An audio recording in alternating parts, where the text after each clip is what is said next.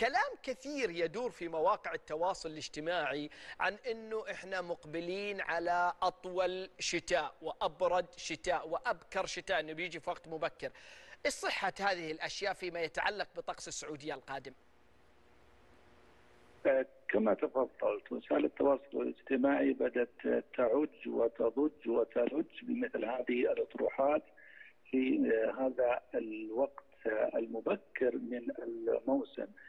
والحقيقة أن هذه المعلومات تستقى من مخرجات النماذج المناخية العالمية وهي سوبر كمبيوتر من أعظم الكمبيوترات في العالم موجودة عند بعض الدول المتقدمة. المخرجات متاحة وأحيانا مدفوعة في الإنترنت يطلع المهتمون والمختصون والهواة على هذه النتائج ومن ثم يبشروا المجتمع حول الموسم القادم. وهذه أزعم انها آلية تؤثر على المبشر والسامع أيضا إذ أن التنبؤات طويلة الأمد لمدة شهر أو شهرين أو موسم في الحقيقة لا نست... لا لا نتكئ عليها إذ أن الثقة فيها أقل ربما من 20% وبالتالي أنتم تدفعون الرأي العام وتدفعون الجهات ذات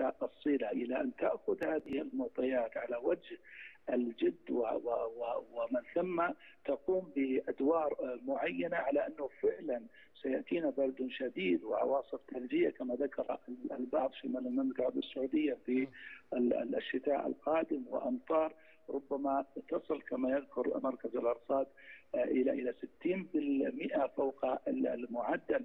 وان كانت المخرجات النماذج العالمية تقدم لنا هذه المعلومات ولكن هذه المعلومات تكون بين المختصين والمهتمين في جروبات في المنتديات. ولكن إذا سمحت لي دكتور إذا سمحت لي في كلام مهم وخطر أنت قلته في ثنايا حديثك. أنت تقول أنه هذه المعطيات حتى وإن كانت صادرة من مختصين أو من جهات أو غيرها أن معطياتها لا تمثل كمصداقية أو كواقع إلا 20% فقط؟ أو أقل لأن الفترة طويلة، اذا ما الحل؟ الحل أن أن, أن ننتظر ولا نخبر الناس ونبشر الناس أو نحذر الناس إلا خلال فترة ما بين ثلاثة إلى خمسة أيام، لماذا؟ لأن مناخ المملكة العربية السعودية مناخ صحراوي، مناخ صعب، مناخ متذبذب، لا يمكن أن تقوم أجهزة السوبر كمبيوتر بالتنبؤ لفترات طويلة وتصدق والدليل على ذلك راح أضرب لك مثال جدا واضح إيه؟ الأحد الماضي الأحد الماضي كان هناك تعليق للدراسة في مكة والأحد الذي قبله كان هناك تعليق للدراسة، لماذا؟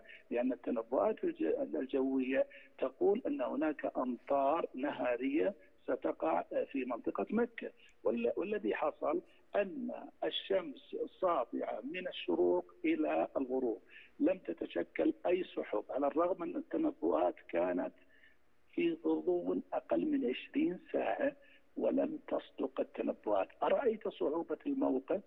أرأيت كيف خسرنا من الوقت ومن آه نتائج إقامة الدروس والفصول على وجهها الحقيقي بسبب تنبؤات أنا لا ألوم طبعا مركز الأرصاد بقدر ما أقول أن هذا العلم لم يكتمل ولن يكتمل لأن علم الأمطار عند الله سبحانه وتعالى وإنما نستأنس بالمخرجات ونكون حذرين جدا عند التبشير أو التحذير والله أعلم. طيب